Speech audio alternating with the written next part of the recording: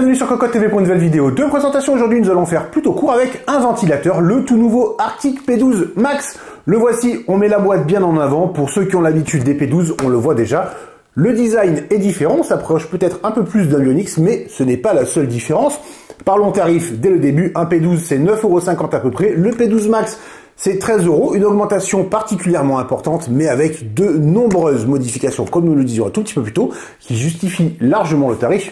Honnêtement, un ventilateur avec 6 ans de garantie à 13 euros, on signe tout de suite.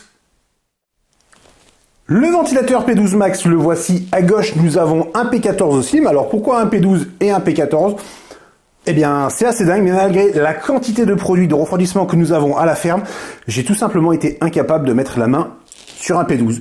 Donc, on a pris un P14. Physiquement, c'est la même chose en termes de design. Et on le voit, il y a quand même une évolution au niveau du logo au milieu, au niveau du, style sur les coins du cadre. Et comme on le dit dans l'introduction, on s'approche d'un Bionix avec notamment ces coins en caoutchouc d'une couleur légèrement différente. Alors, les Bionics c'était vraiment en couleur avec du vert, du rouge, du bleu par exemple. Là, on reste sur du gris.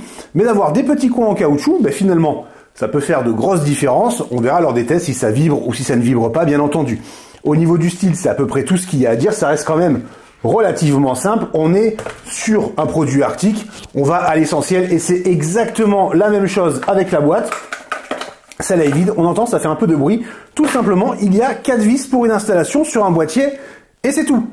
Rien de plus, pas de résistance, pas de dédoubleur en YPWM, non, un ventilateur, 4 vis, et basta. Ce qui ne nous dérange pas du tout, on va bien le reconnaître.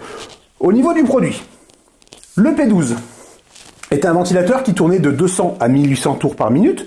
Le P12 Max va monter à 3300 tours par minute, donc ça va quand même beaucoup, beaucoup plus vite, avec également un mode 0 RPM si on passe sous 5% du cycle PWM. Le débit d'air forcément est important, 81,04, mais c'est pas ce qui compte le plus.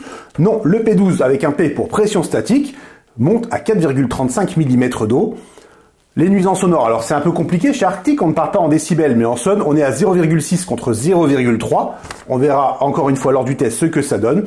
Et le roulement passe d'un FDB à un dual ball, c'est tout à fait normal. On s'assure que ça va fonctionner parfaitement à pleine vitesse et pour une longue durée de vie.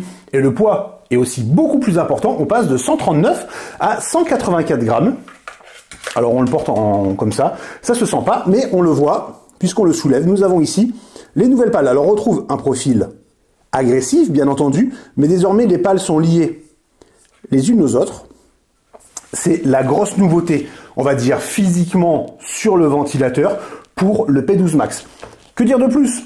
Pour l'instant, pas grand-chose. On installe ça sur notre plateforme de test et on vous en dit plus dans quelques temps. C'est tout pour aujourd'hui. On souhaite à tous une très bonne journée.